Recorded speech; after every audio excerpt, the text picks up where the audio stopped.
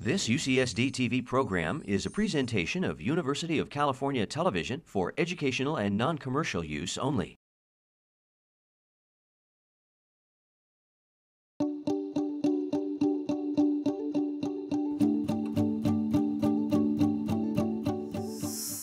From aerospace, mechanical, and bioengineering to structural, nano, electronic, and computer engineering, the Jacobs School of Engineering at UC San Diego is known for its stellar research.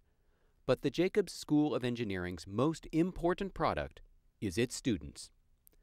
To fulfill its mission of educating tomorrow's technology leaders, the Jacobs School offers several model undergraduate programs that foster innovation and leadership and teach not only engineering, but teamwork. The school's Global Ties program brings together undergraduate engineers across disciplines, creating teams to provide for the needs of others. Right now, we work with a nonprofit Gawad Kalinga, which their goal is to end poverty in the Philippines by 2024. A big issue in the Philippines is water contamination. So we want to be able to give these people a safe drinking water system.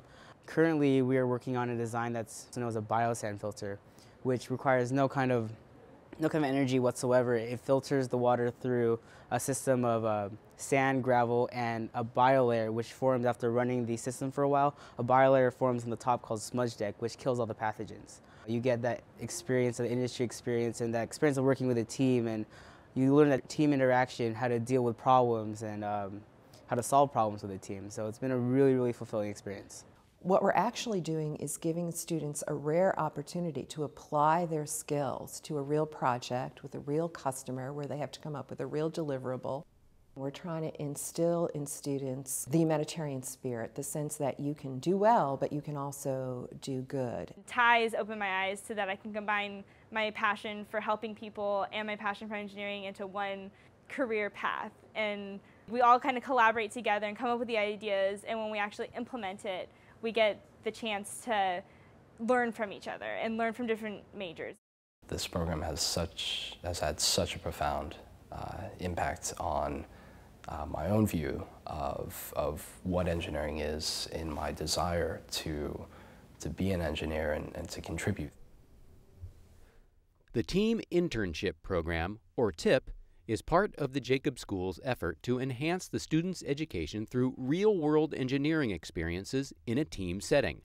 Students work on site with industry partners, both domestically and internationally, as a multidisciplinary team focused on a clearly defined and significant project. The students have a really unique opportunity when they join the team internship program. And I tell them it's like a regular internship in that it's paid you work at the company and it's during the summer.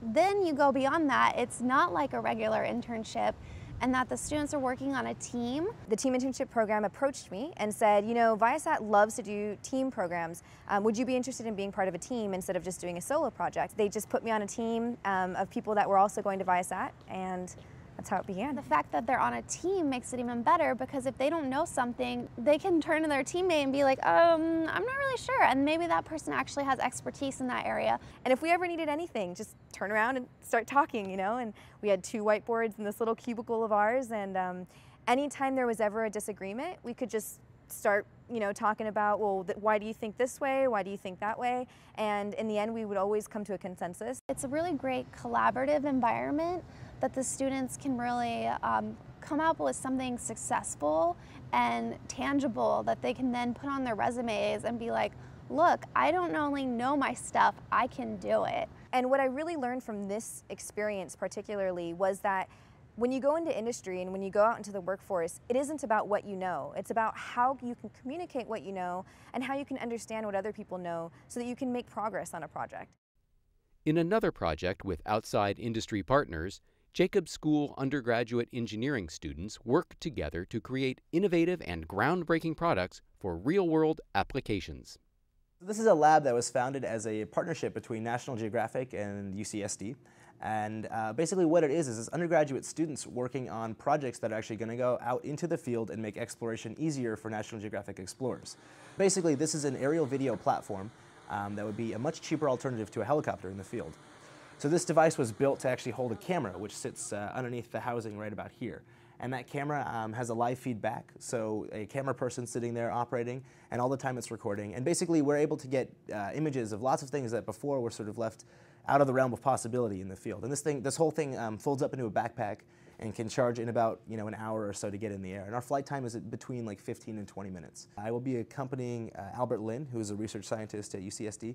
Uh, I'll be going with him on a trip to Mongolia to look for the tomb of Genghis Khan. Essentially what we'll be doing is using this as a photo generating device to try to generate images from the air.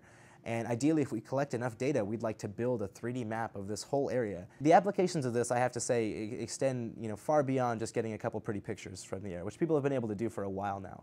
But if you can envision, you know, maybe 30 of these things communicating in the air and flying sort of in like the flying V pattern or in a cloud pattern, your, your point cloud of data grows exponentially. It's to the point that you're getting enough data to actually do viable real-time research with it. And the fact that these projects are actually going to be go out and be deployed, not just by you know students with with an idea to go out and deploy it, but with an agency that's that's you know so universally recognized, um, that's very interested in the data that we're collecting. I, I, it's it's lit a fire, I, I think, under the students' involvement in this program.